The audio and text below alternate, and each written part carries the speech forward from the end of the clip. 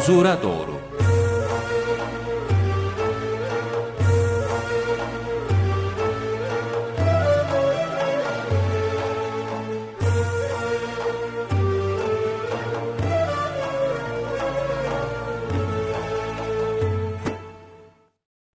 Merhaba sevgili izleyicilerimiz. Yeni bir programla daha sizlerle birlikteyiz. Her zaman olduğu gibi Osman Ünlü hocamız var yanımızda. Yine kendisiyle sohbet edeceğiz ve sizlerin merak ettiği konulardan birini daha soracağız. Hocam, e, şimdi dinimizin yasak ettiği şeyler var. Günahlar var, haramlar var. Yapmayın dediği şeyler var. Bir Müslüman bunlardan herhangi birini yaparsa, mesela e, hırsızlık yapmak, gıybet etmek ikisi de haram. Bir Müslüman bunları yaptı diyelim. Bu durumda bunun imanı gider mi? Birinci sorun bu. Eğer gitmezse bu bunu yapmaya devam ettiği müddetçe hiçbir zarar olmaz mı imanına? Şimdi Mustafa Bey ehl sünnet alimleri çok güzel bir şekilde izah etmişler. Bir, amel imandan cüz değildir. Ne demek bu? Yani insan günah işlediği zaman veyahut da farzlardan birisini birkaçını yapmadığı zaman kafir olmaz, imanı gitmez. Yine Müslümandır bu. Ama fasık Müslümandır. Fasık, günah işleyen. Günah işleyen Müslümandır. İkinci olarak da buyuruyorlar ki günah işlemiyor. Ama günah hafif görüyor. Ya bu da haram mı olmuş? Bu da yasak mı olmuş? Bu zamanda bunun aynı şekilde haram olması lüzumsuz bir şey. Dese, bak o işi yapmadığı halde imanı gider buyuruluyor. Bu kimse beş vakit namaz kılsa da gider. Çünkü e, tazimi tahkir, tahkiri tazim küfürdür buyuruyor. Miftahul Cennet kitabında Muhammed bin Kutbuddin Ezeki Hazretleri açık net dedelerimizin el kitabıymış. Mızraklı İlmihal diye meşhurdur o. İmam Belgili Hazretleri de bildiriyor bunu. Tahkiri tazim, tazimi tahkir. Yani e, yani e, reddedilmesi gereken şeyi övüyorsun, övülmesi gereken şeyi de reddediyorsun, tahkir ediyorsun Küçümsüyorsun. küçümsüyorsun. Yani imanı götürür. İmanı götürür buyuruyor. Dolayısıyla ona çok, çok dikkat etmek lazım. Şimdi bu konuda çok açık net bir şekilde İslam alimlerinden ve Hindistan'da metun bulunan Muhammed Parisi Hazretleri var. Bu zat buyuruyor ki insanı allah Teala'dan uzaklaştıran perdelerin en zararlısı kalbin kararması, hasta olması. Yani dünya sevgisinin kalbe yerleşmesidir. İzah ediyor, devam ediyor. Bu sevgi kötü arkadaşlardan, lüzumsuz şeyler seyretmekten hasıl olur. Çok uğraşarak bunları kalpten çıkarmalı. Faydasız kitap, roman, gazete, dergi, hikayeler okumak, lüzumsuz şeyler konuşmak bu sevgiyi arttırır. Haram şeylere bakmak ve dinlemek bu sevgiyi kalbe yerleştirir. Bunların hepsi insanı Allah Teala'dan uzaklaştırır. Kalbin hasta olması Allah Teala'yı unutmasıdır. Allahü Teala'ya kavuşmak isteyenlerin bunlardan sakınması, nefsi kuvvetlendiren, azdıran her şeyden iştinab etmesi lazımdır. Efendim iyi naklettiniz de ne demek istiyor? Evet. Yani günahlar onlarla meşgul oldukça oldukça onlara karşı bir sevgi teşekkül eder. allah Teala kalbi sadece kendi sevgisinin bulunacağı yer olarak yaratmış. Kalpte ne varsa insan davranışları ona göre şekillenir. Günahlar varsa bu kimse lüzumsuz konuşacaktır. Günah işler konuşacaktır. Ve Allah-u Teala'dan bahsedemeyecektir. Allah-u Teala'nın emirlerini yerine getiremeyecektir. Kalbi hastalanmıştır. Bu hasta kalp yani nefsini kuvvetlerini, nefsinin isteklerini yerine getiriyor. Bu hasta kalp hastalıkta kalmaz. Ölebilir.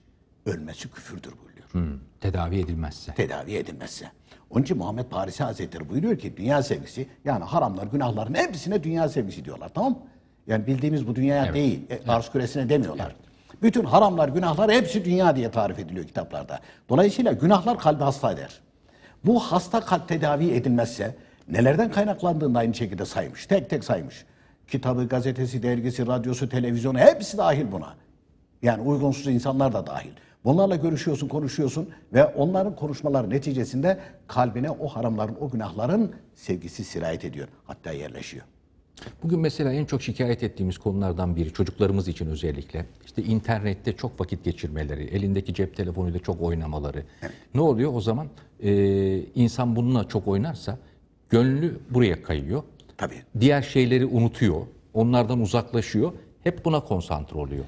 Bir de başka bir şey daha anlatmışlar.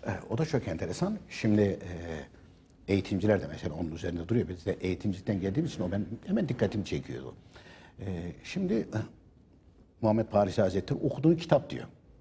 Evet. Halbuki zamanımızda mesela işte kitap okuyun, kitap okuyun, kitap okuyun falan. Çok faydalı. Değilmiş. İyi bir kitap, iyi İyi bir kitap iyi bir arkadaş. Evet. Kitap Her iyi bir kitap arkadaş değil diyorlar. yani. Değil. İyi bir kitap iyi bir arkadaş. Çünkü kitabında, derginin de, gazetenin de, radyonun da, televizyonun da uygun olanı var, uygun olmayanlar var. Bunlar sadece vasıtadır. Ne yazarsan, ne gösterirsen, ne anlatırsan onu verecektir bunlar. Aletin bir kabahat söz konusu değil. Dolayısıyla bir kimse bir gazeteyi veyahut da bir kitabı, bir hikaye, romanı okuduğu zaman o hikayeyi, o romanı, o gazetedeki yazıları veyahut da o kitabı yazan kimsenin kalbi ne ise, kalbinde ne varsa yani haram ve günahların sevgisi yerleşmişse sen farkına varmadan o kimsenin o kitabını, gazetedeki yazısını, dergideki yazısını veyahut da romanını okuduğun zaman otomatik olarak senin kalbine akarmış bu. Bana bir şey yapmaz. Senin elinde değilmiş o. Kalp otomatik olarak bağlantıya geçermiş. Bu kaçınılmaz bir şey yani. Kaçınılmaz bir şey. Demin misal verdiniz. Adam açıyor mesela sosyal medyada şimdi hadi takır takır oraya gelenlerin hepsini okuyor. Kim yazdı?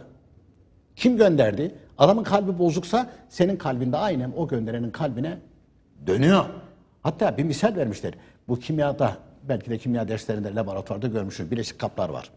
Mesela suyu bir tarafa koyuyorsun. Hoffman voltmetresi diyorlar. Evet. Koyuyorsun. e, biri yukarıda biri aşağıda değil. Aynı seviyeye Aynı geliyorlar. seviyeye iniyor.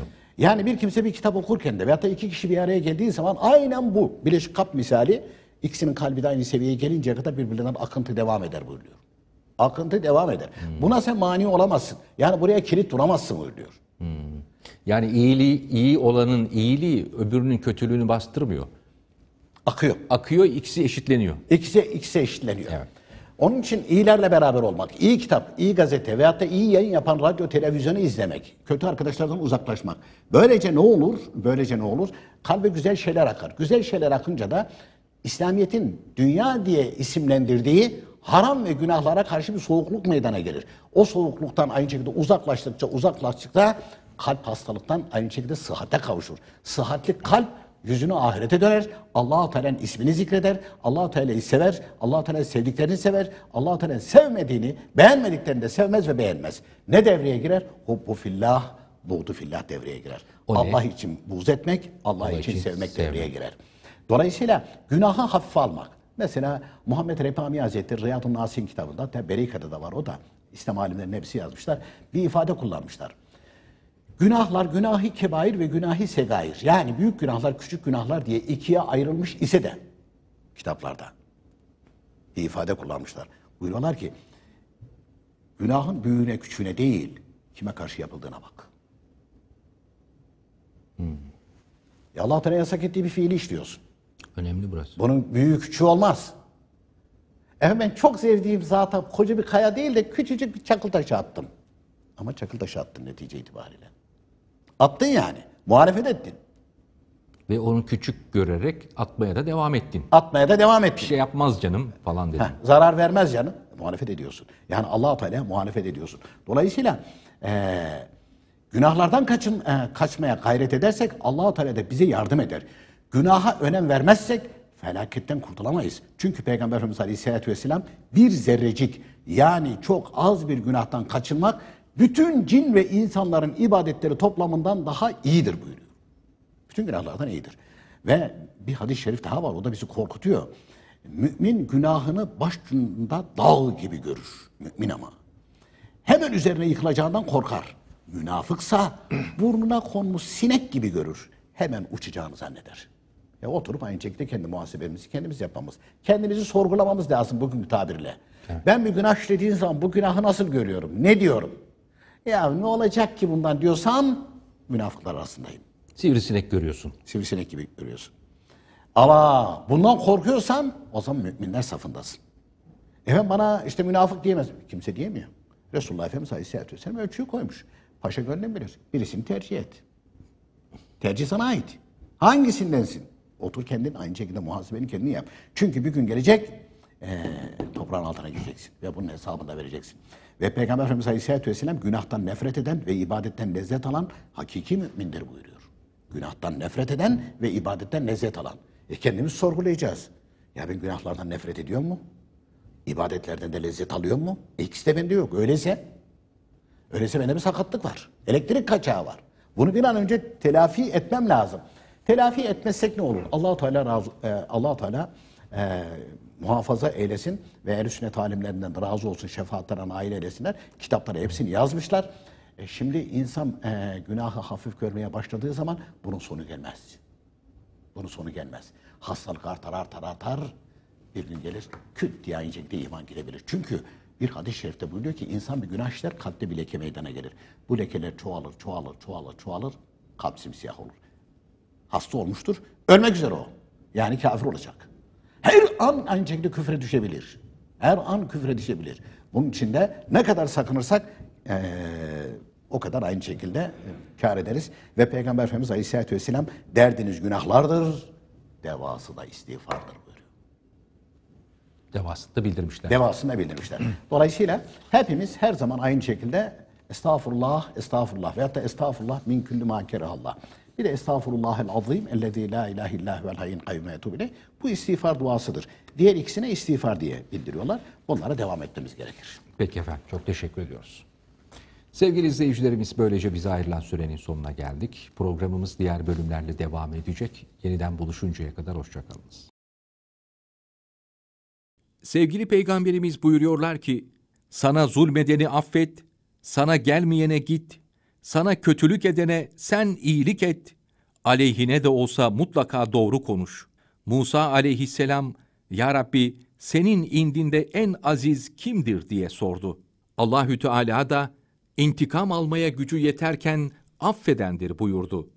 Allahü Teala merhameti olmayana merhamet etmez, affetmeyeni affetmez. Affedin ki affa kavuşasınız.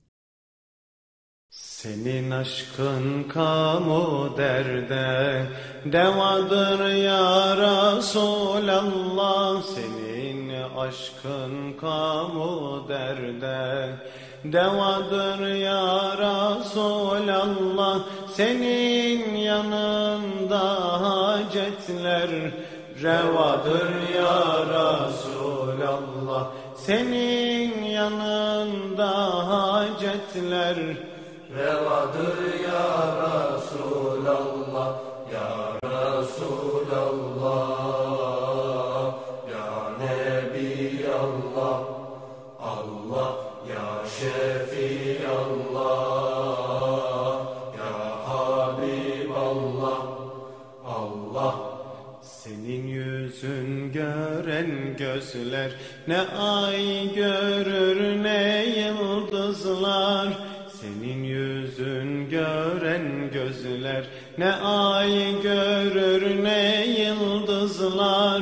Seninle gece gündüzler. Ziyadır ya Resulallah. Seninle gece gündüzler. Ziyadır ya Resulallah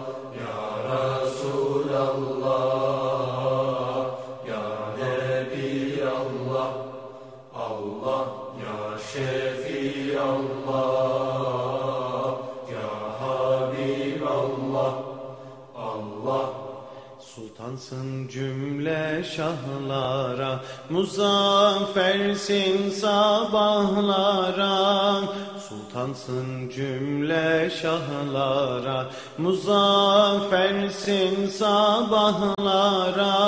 Şefaatin günahkara, şifadır ya Resulallah. Şefaatin günahkara, Şifadır ya Resulallah Ya Resulallah Ya Nebi Allah Allah Ya Şefi Allah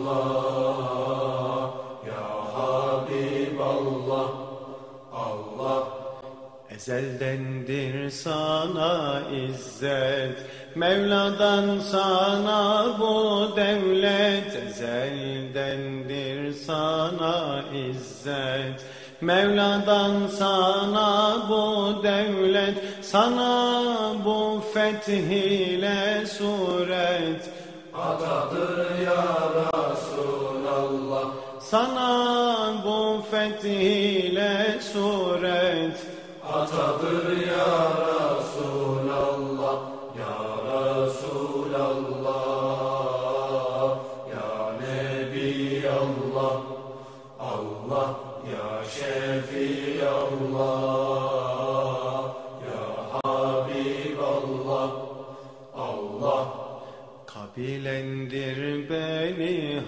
Haşim Neslin Hazreti İbrahim. Kabilendir beni Haşim Neslin Hazreti İbrahim. Seni sevmez ise her kim? Hatadır ya Resulallah Seni sevmez ise her kim? Hatadır ya Resulallah Ya Nebi Allah Allah Ya Şefi Allah Ya Habib Allah Allah Tam ilmihal, saadeti ebediye.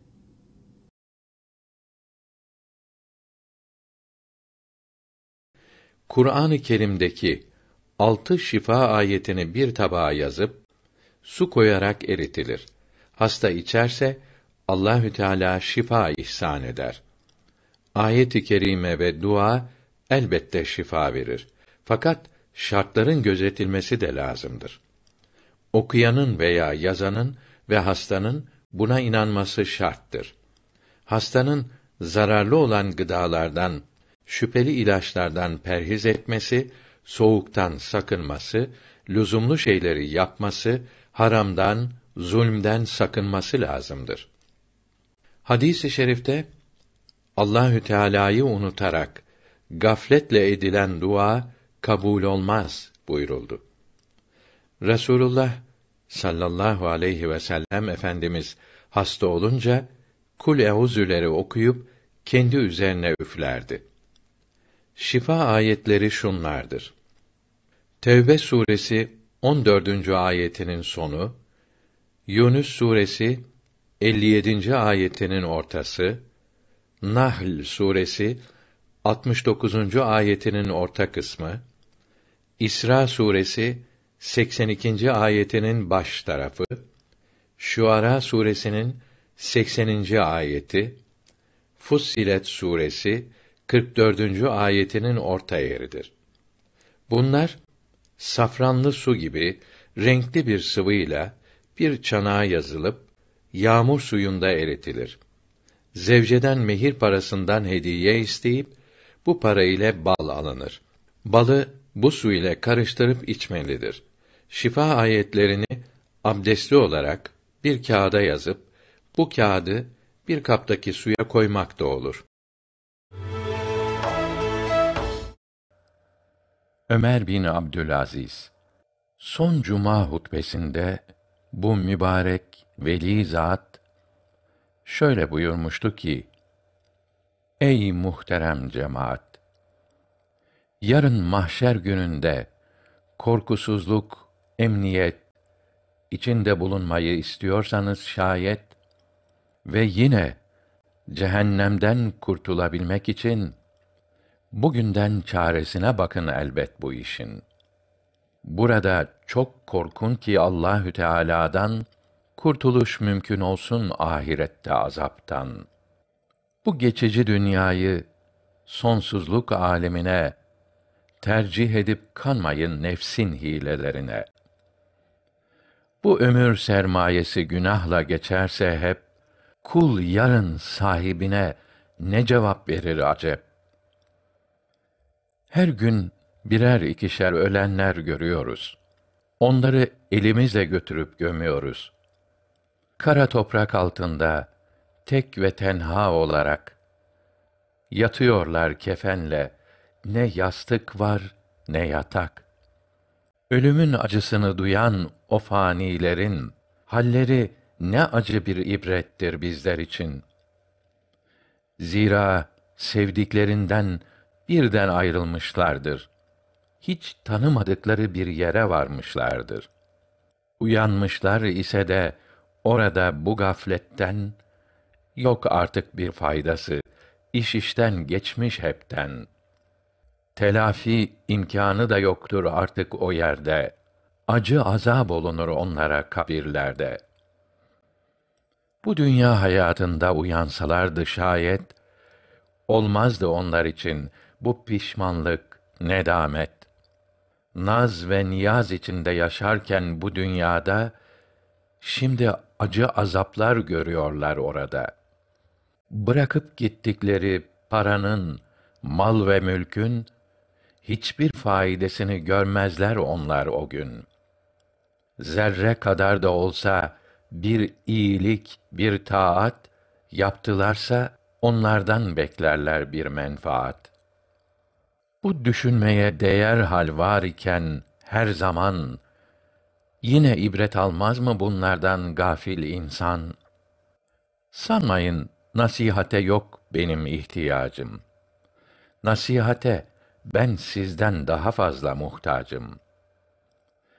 Allahü Teala'nın yüce kitabı olan bu Kur'an-ı Kerim'i kendine rehber yapan ve Resul-ü Zişan'ı örnek alan kendine kavuşur ahirette cennet nimetlerine. Ey muhterem cemaat! İşlenen her günahın her biri cehennemde bir ateş olur yarın. Yapılan her iyilik, hayır ve ibadet de her biri birer nimet olacaktır cennette. Ömer bin Abdülaziz söyledi bu sözleri. Daha sonra ağlayıp yaşla doldu gözleri. Bu son hutbesiydi. Hem de en son nasihat. Fazla zaman geçmeden eyledi hakka vuslat. Şevahidin Nübüvve Peygamberlik müjdeleri Resulullah'ın sallallahu aleyhi ve sellem bedeninin kuvveti herkesten fazlaydı. O zamanın en kuvvetli pehlivanı Rügane'yi İslam'a davet ettiğinde onunla güreşmişti ve yenmişti. Rügane'nin babası da o devrin pehlivanıydı. Cahiliye devrinde onu da mağlup etmişti. Rügane'nin babası üç defa güreşti. Resulullah sallallahu aleyhi ve sellem üç defasında da onu yendi. Resulullah sallallahu aleyhi ve sellem yaya yürüdüğünde hiç kimse ona yetişemezdi. Ebu Hureyre radıyallahu anh demiştir ki Resulullah sallallahu aleyhi ve sellem o kadar çabuk yürürdü ki sanki yer mübarek ayağının altında dürülürdü. Biz zahmet çekerek yürürdük. Resulullah normal yürürdü. Yine de ona yetişemezdik. Resulullah'ın sallallahu aleyhi ve sellem mübarek ağzının suyu ile tuzlu sular tatlı olurdu. Enes radıyallahu anh şöyle demiştir. Resulullah'ın sallallahu aleyhi ve sellem evinde bir kuyu vardı. Suyu tuzluydu. Mübarek ağzının suyundan o kuyunun içine kattı. Kuyunun suyu tatlılaştı. Medine'deki kuyular arasında o kuyunun suyundan daha tatlısı yoktu. Resulullah'ın sallallahu aleyhi ve sellem huzuruna Yemame'den bir kimse geldi. Ya Resulallah, bizim köyümüzde mescit yoktur dedi. Resulullah sallallahu aleyhi ve sellem su istedi. O su ile mübarek yüzünü, ağzını, ellerini ve kollarını yıkadı ve o suyu kendisine gelen kimseye verdi. Köyüne git, bir mescit yap. Bu suyu başka suyla karıştırıp mescidin arsasına saç. Çok bereket göreceksin buyurdu. O kimse köyüne gidip Resulullah'ın buyurduğu gibi yaptı. Gayet güzel ve ferah bir mescit oldu. Orada biten otlar yaz kış hiç kurumadı. Resulullah'a sallallahu aleyhi ve sellem bir kuyudan bir kova su getirdiler. O sudan biraz içip mübarek ağzının suyunu kovaya döktü. Eshab-ı kiram o suyu götürüp aldıkları kuyuya döktüler. Ondan sonra o kuyudan devamlı misk kokusu gelirdi. Resulullah'ın sallallahu aleyhi ve sellem mübarek gözleri çok kuvvetli görürdü. Önden gördüğü gibi arkadan da görürdü. Aydınlıkta gördüğü gibi karanlıkta da görürdü. Nakledilmiştir ki Süreyya'daki yani Boğa burcundaki on bir yıldızı görürdü. Resulullah'ın sallallahu aleyhi ve sellem mübarek azı dişini kıran bir cemaatin neslinden gelenlerin asla azı dişi çıkmadı. Resulullah'ın sallallahu aleyhi ve sellem mübarek eli neye dokunsa hayır ve bereket hasıl olurdu. Mesela bir sütsüz koyunun memelerine dokunsa koyunun memeleri süt ile dolardı. İbn Mesud radıyallahu anh şöyle anlatmıştır. Bir gün Resulullah sallallahu aleyhi ve sellem ile Ebu Bekr radıyallahu anh bulunduğum yerden geçiyorlardı. Ben koyun güdüyordum. Bana, ey oğulcağız, hiç südün var mıdır? diye sordu. Var, fakat bu koyunlar bana emanettir dedim. Bunların arasından kısır bir keçi getirdim. Resulullah sallallahu aleyhi ve sellem mübarek eliyle o keçinin memesini sıvadı ve çok süt sağdı. Kendisi içti ve Hazreti Ebu Bekre de verdi. Sonra ben huzuruna yaklaşıp, bana dini öğret, dedim. Mübarek eliyle başımı okşadı ve sen henüz küçüksün, öğrenirsin, buyurdu.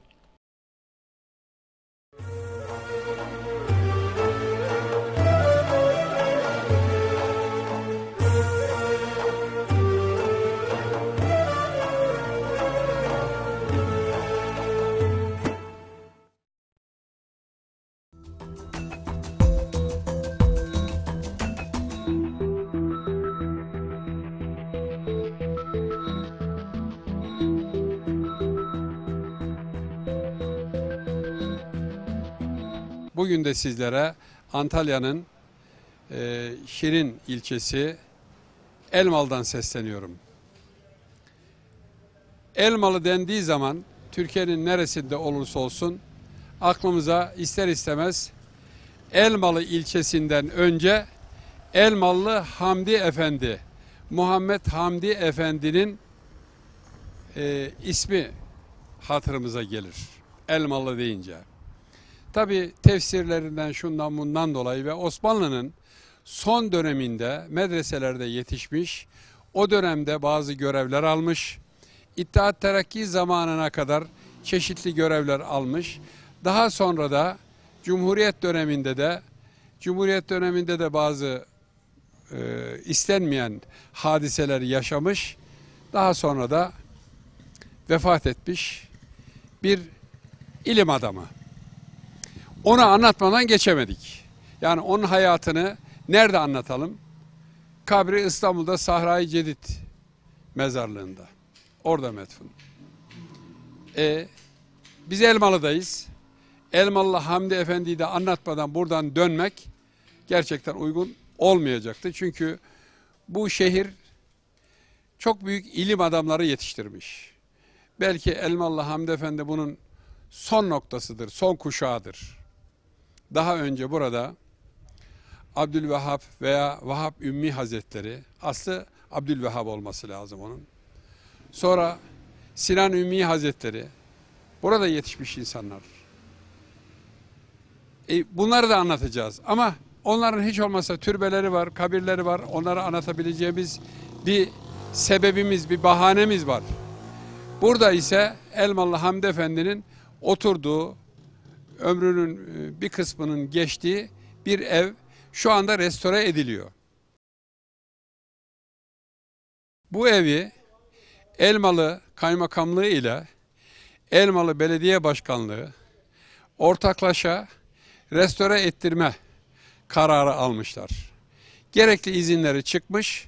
Şu anda bu restorasyon çalışmaları devam ediyor. İçerisinde ustalar var, ameleler var. Biz de Tabi burası da yol boyu, biraz da mobilet, motosiklet burada bu ilçede çok kullanılıyor. İnsanların bağ bahçeye gitmesinde de herhalde merkep yerini bunlar aldılar. O yüzden içeride biraz böyle restorasyon devam eden bir evin görüntüsü var ama yani bir viraneye de sizi sokmuş olmayacağız. O günün ev hayatındaki yaşama kültürü için de bazı bilgileri hem de esas Elmalı Hamdi Efendi'nin hayat serüvenini biraz da notlarıma bakarak orada vermek istiyorum. Geçelim iç kısmı efendim.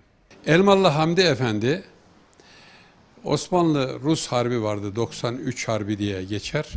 1877-78 yıllarında olan harbin olduğu sıralarda dünyaya gelmiş. Babası mahkeme başkatipliği yapardı. Kendisi Burdur'un Gölhisarı'nın Yazır köyündendir. O günde ismi Yazır mıydı yoksa daha sonradan mı Yazır'a döndü onu da bilemiyorum. O dönemde de ismi Yazır olabilir köyün. Annesi ise başka bir yerden e, evlenmişler. Babası mahkeme başkatipliği yaparken efendime söyleyeyim e, oğlu dünyaya gelmiş ve ilk tahsilini kendisi babasının bulunduğu yerde yapmış. Babasının adı Numan Efendi.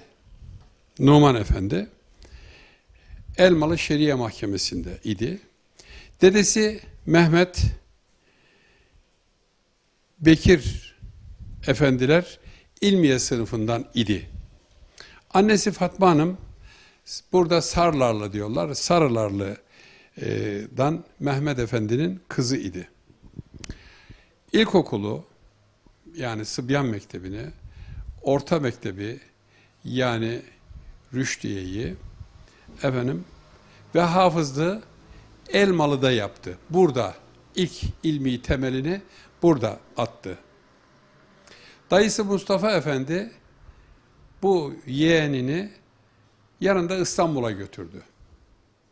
Dayısının ne işte meşgul olduğu hususunda bilgimiz yok. 1895'te yani 22 yaşlarında iken demek ki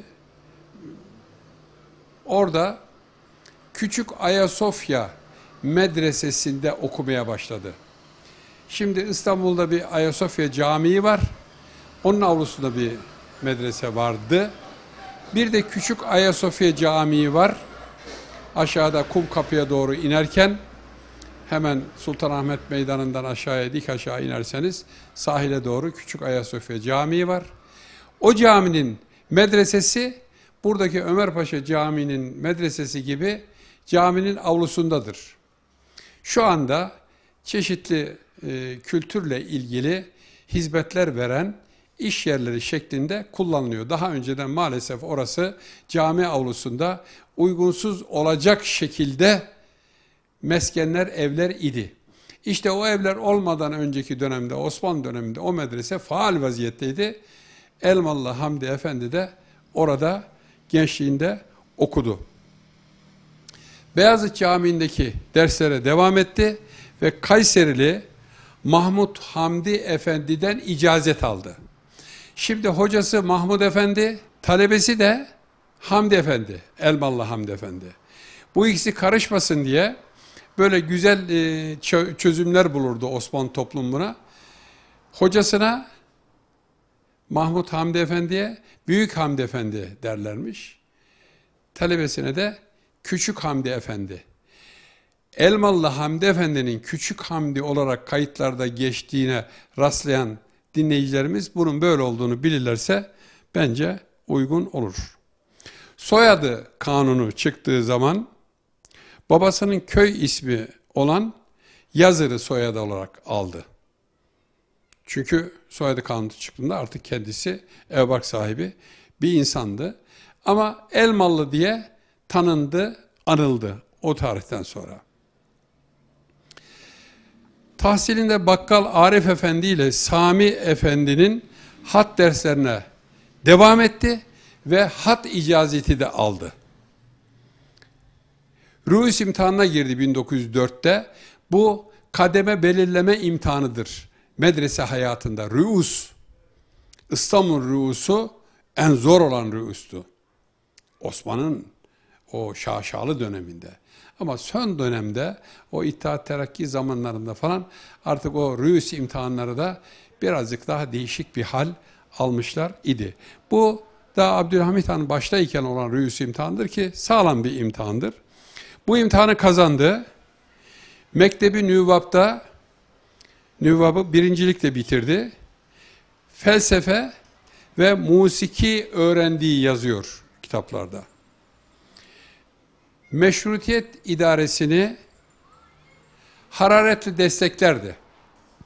İttihat terakkicilerle beraber bulundu ve İlmiye Şubesi'ne İttihat Terakki'nin bir askeri şubesi vardı. Daha başka birkaç şubesi daha vardı. İlmiye Şubesi'ne de üye oldu. Yani İlmiye Şubesi azası idi.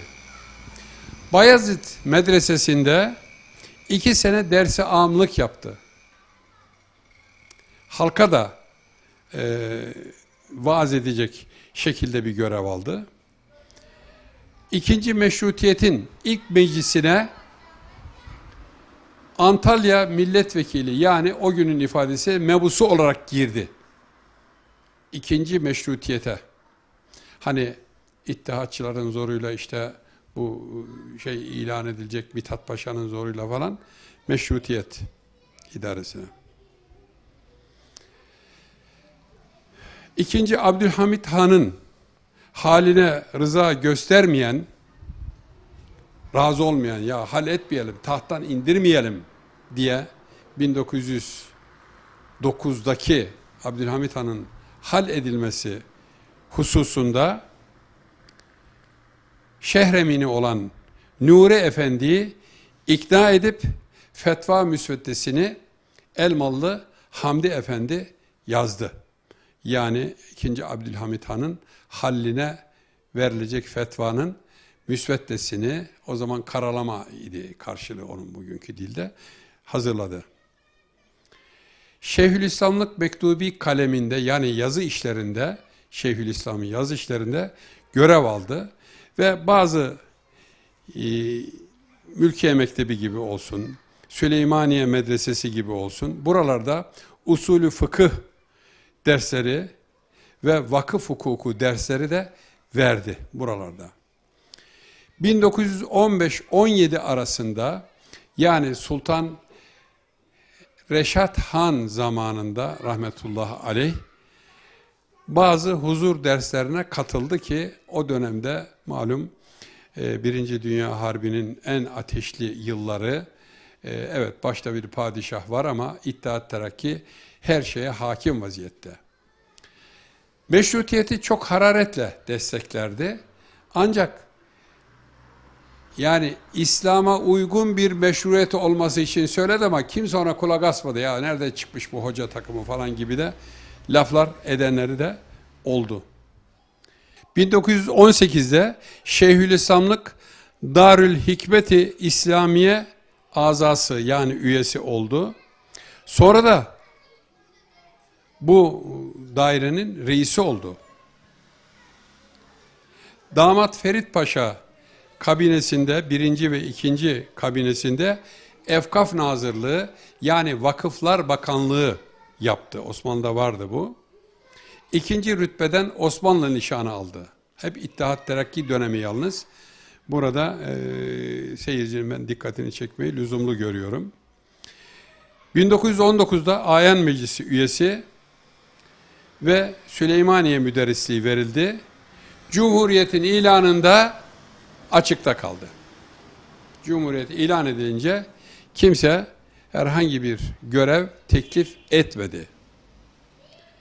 Milli mücadelede İstanbul hükümetlerinde daha önce görev yaptığı için İstiklal Mahkemesi'nde gıyabında idama mahkum edildi. Elmalı Hamdi Efendi. Fatih'teki evinden alınıp Ankara'ya götürüldü. 40 gün kadar orada tutuklu kaldı. Mahkeme suçsuz bularak kendisini serbest bıraktı. O da İstanbul'a döndü. O tarihten sonra camiye beş vakit namaza gitmenin dışında evinden hiç çıkmadı. O dönemde böyle insanlara rastlıyoruz efendim. ilim erbabından. Gerek kıyafeti yüzünden, gerekse böyle uğradığı muameleler yüzünden bir nevi sessiz protesto şeklinde insanlarla ihtilattan, belki de korkudan, ihtilattan men edilmiş gibi insanlarla e, ilişkiye girmediler. Hani bir şey söylerken ağızdan bir laf kaçarsa, o bu adam işte şu anda Cumhuriyete karşıdır deyip içeriye atabilirler korkusu çok kimsede olduğunu bendeniz kitaplarda rastlıyorum. Elmalı Hamdi Efendi bunlardan birisi olmuş rahmetli. Türkiye Büyük Millet Meclisi'nde bir karar alındı. Türkçe tefsir hazırlatalım kararı alındı. Kime kime kime İstiklal Mahkemesi'nde yargılamaya kalkılan Elmalı Hamdi Efendi'ye tefsir yazma, e, İstiklal Marşımızın e, yazarı olan şair Mehmet Akif'e de meali Kur'an-ı Kerim'in hazırlatılması işi teklif edildi. Avans paraları da verildi ve bu göreve başlanıldı. E, Elmalı Hamdi Efendi'nin tefsirinin adı Hak Dini Kur'an Dili idi adı. 27 Mayıs 1942'de 65 yaşında kalp yetmezliğinden Erenköy'de damat evinde vefat etti. Sahraycı mezarlığına defnedildi. Şimdi bu bulunduğumuz ev onun oturduğu evdir. Bu evin özelliği evin bir sokaktan giriş kapısı var. Bir de avludan giriş merdiveni var. Bu iki kapıdan girildiğinde ikinci kata çıkarken avludan gelen merdiven ile sokaktan gelen evin birinci katına giren holden geçildikten sonraki merdiven bir yerde birleşir, kesişir. Bu Anadolu'daki birçok konakta rastladığımız bir husus. Eve gelen erkek misafir evin cümle kapısından girse hane halkı o anda mutfaktadır. İşte ev halkının kıyafeti müsait değildir. Evin yetişkin kızı vardır, gelini vardır.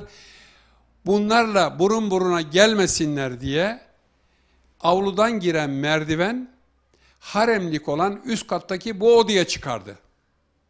Erkek misafir burada misafir edilirdi. İşte yatağının yorganın durduğu yüklük. Gardırop yani bugünkü anlamında.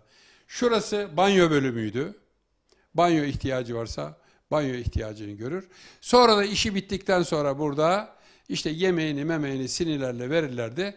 Tekrar aynı merdivenden avlu kapısından ayrılırdı. Ev halkı ise bu merdiveni kullanmaz. Evin içinden çıkan, holden sokağa çıkan kapıyı kullanır idi. Bu da Osmanlı'nın o dönemdeki ana ana kültür umdelerinden birisiydi. Buna çok riayet edilirdi efendim. Şimdi mi? Şimdisini bilemem. Efendim Elvanlı Hamdi Efendi'yi oturduğu, evvelden oturduğu evinde anarak programı burada noktalıyoruz. Hoşçakalınız efendim.